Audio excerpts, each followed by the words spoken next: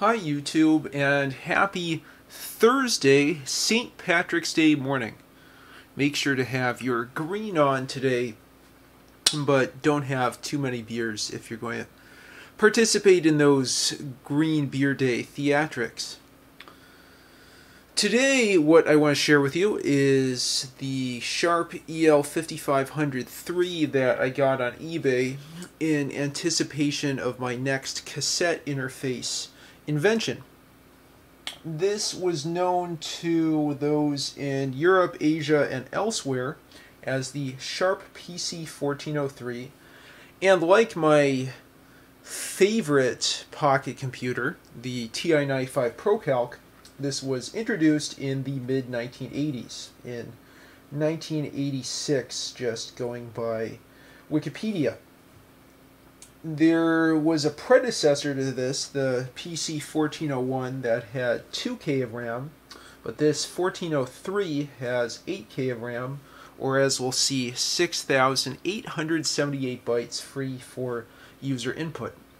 It's both a calculator and a basic programmable pocket computer. It has a 1 by 24 character LCD display a Hitachi SC61860 8-bit CMOS CPU running at a blazing fast 768 kilohertz. Super fast.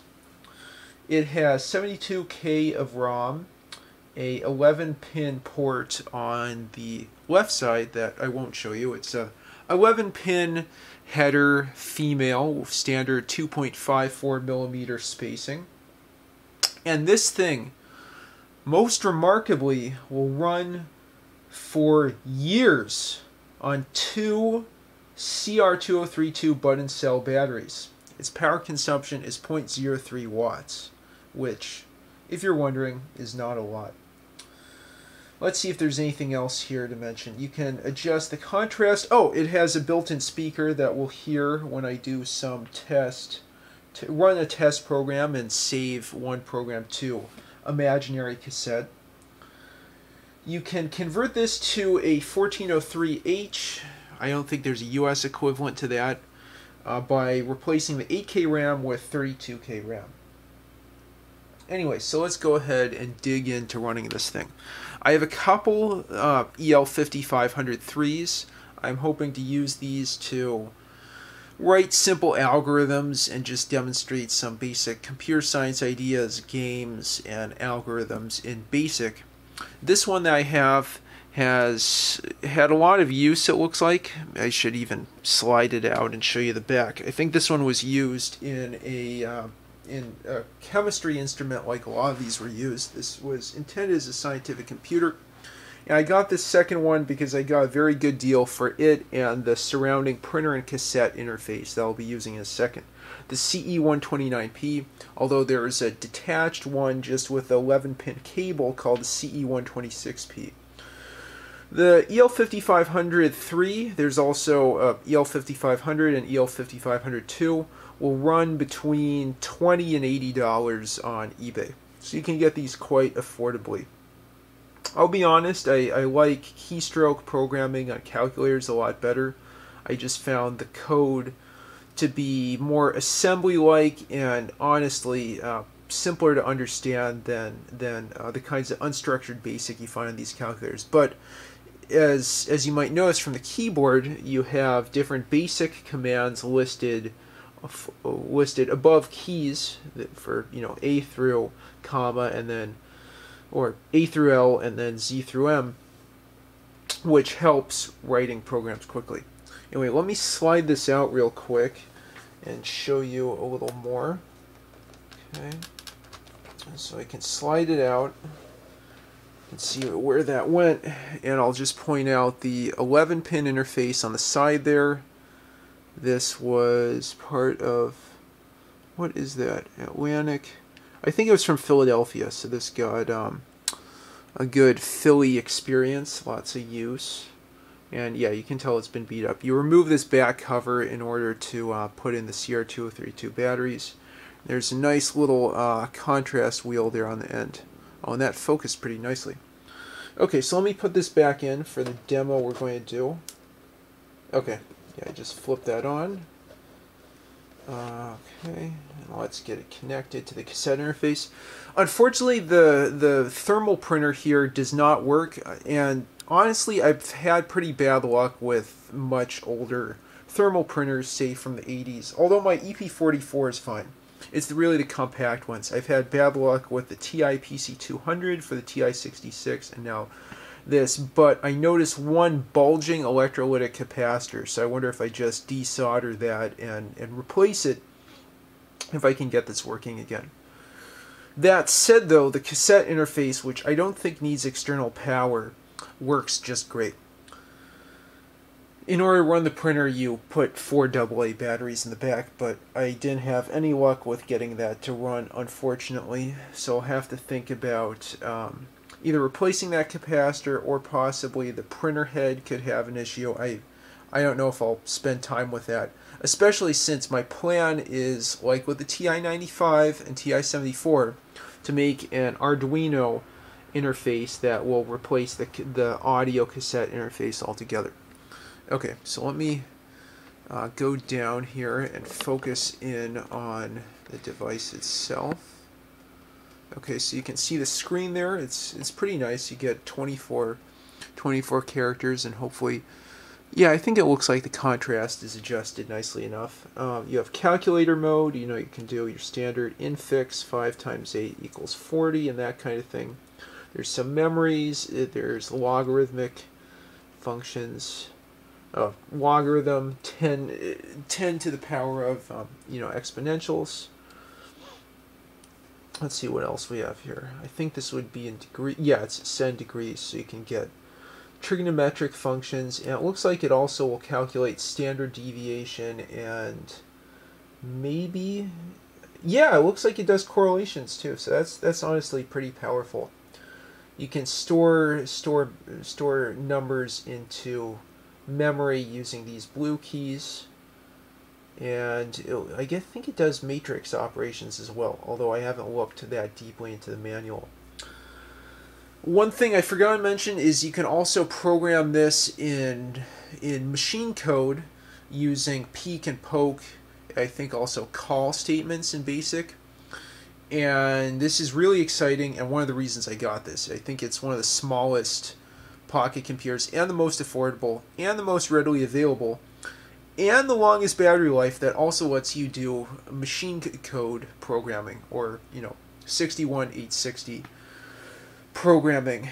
I yeah i think that's called the ESR-H core. Anyway so that's exciting because i i'm hoping to interface a dht11 or dht22 temperature humidity sensor to this and just you know have endless battery life and the ability to calculate statistics on, on each of those. Plus, I think I'd learn a lot from doing that. I also plan to do that with the TI-95 as well, and hopefully I'll have that in some future videos. Okay, so that's that's uh, pretty nice there. Let's get into basic. I have this this run function here. I think I can had a program at 10. Actually, here, so there's a run mode, and you can just execute different statements. Um, I don't think list works in here. There's some subset of functions you can use in run mode, but again, that's just to run a program that you save. To edit a program, you go to program, and you can list what's there. Uh, wait, list. Oh, okay. I know what I need to do. Yeah, so I have a hello world program, and then another demo here from Eddie Shore of, of um, Eddie's Eddie Shore's calculator reviews. This dancing star program with a little bit of sound. Anyway, so you can edit your programs like that and look line by line. Okay. Enter. Um, so let's try run 10. Run 10. And there we go. So we have a hello world program. Uh, and now let's do that Dancing Star demo. So I'm going to do... Um, oh, P, uh, P and NP. That that isn't for for um, algorithm comple for complexity theory. That's just printer or no printer. Uh, anyway, so nice little random factoid you got. Okay, let's clear that. Second run, 400. Look, animations. Sometimes the star disappears.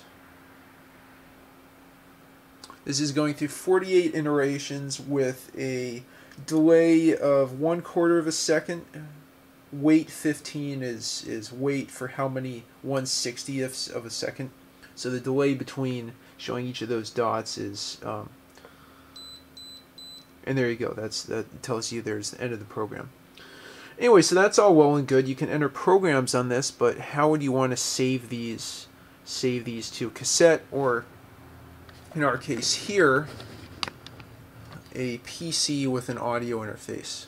This is the computer I use for my radio show that now is going to serve as an audio recorder. So anyway, so how do you save these programs as audio files? Well, it turns out that really isn't too bad. I have have the cassette cable, cassette recorder cable connected here, uh, microphone, and then earphone jack to respective jacks on my PC. And right now we're going to save everything to disk and then try getting that file back through the same software I use for DJing my radio show. Okay, so we'll let that open up and we'll make a recording pretty soon. I want to be in run mode. I'm going to use the command C save that you saw there. Just two buttons to enter that in, shift and then M. And I'll save this cassette file and we'll be able to hear it over the buzzer as it's saved. Okay, let's start recording. Oh, oops. Uh,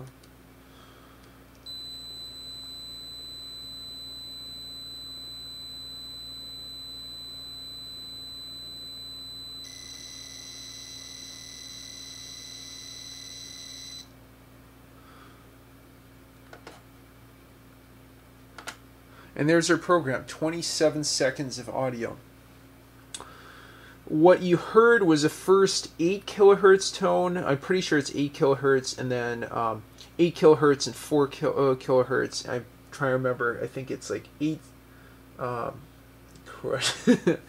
8 or it might be 4 and 2 kilohertz. Actually, let me uh, look this up. Um, I used to know. Um, I think it's 2 and 4 kilohertz, and then 8 cycles of 4 kilohertz as a zero and then four cycles is one, or or something similar to that.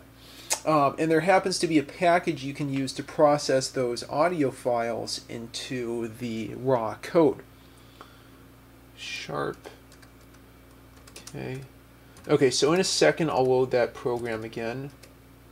Uh, let's see, FSK cassette. Since there were people working on this uh, there are people who are working on this problem. Okay, yeah, yeah. So, it, ex, excuse me. So not eight kilohertz, four kilohertz, but um, eight cycles of four kilohertz, and then four cycles of two kilohertz for. Um, I'm pretty sure zeros and, and ones respectively, and it's also more complicated than. Um, well, the the um, algorithm isn't quite as, as, as simple as a um, TI, and I'll leave it at that. I'll, you know, if you're interested, I'll, I'll let you do your own research.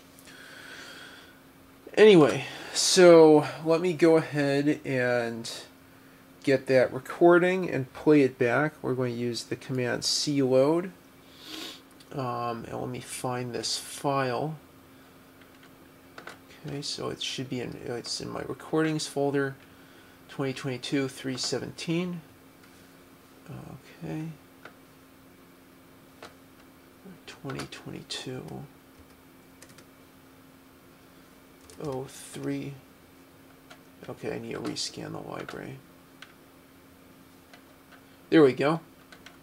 Okay so I'm going to load that up to one of my decks. Press C load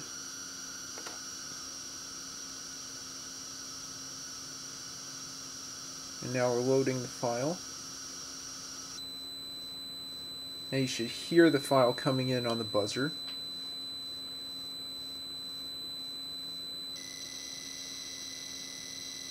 And hopefully that loads properly.